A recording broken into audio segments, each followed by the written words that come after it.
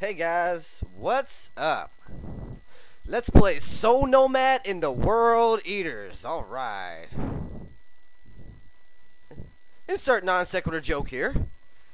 Oh, my bad. That's just for Red Suit play. okay, let's get started. Soul Nomad is a tactical RPG made in 2007 by Nippon Ichi Software, or NIS USA for short. In this video, I will need some comments below to let me know a couple of things. Firstly, just like most tactical RPGs, this game has a lot of cutscenes. In the form of both animation and still shot style photo style cutscenes. Now these will take a lot of time away from the gameplay and that might not be what you guys want to see. So I leave it to you to decide how you want that to go. Um, so I leave that to you.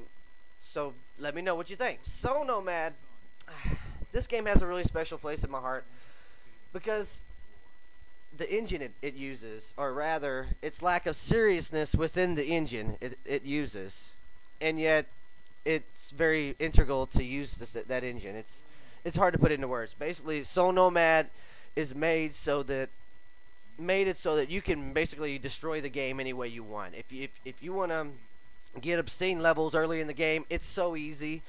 If you want to if, uh, after the first playthrough of the game, you get a skill, and this skill allows you to to easily power level yourself to whatever level you want. However, I'm not going to be using that.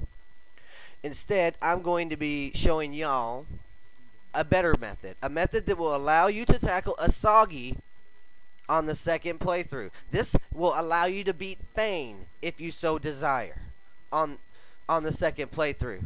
Okay? And I also this will also give you the basic the they will the, the tips I will give you will give you the basic overview of what you're gonna want this game as far as leveling and, and the way you're gonna want to play it. It's it's it's it's such a cool game and I hope I can I can do it justice guys. And so let me know what you guys want. Cutscenes, no cutscenes, power leveling tips, no power leveling tips. This LP is yours to break. Just like good old Gig would want. Let me know, guys.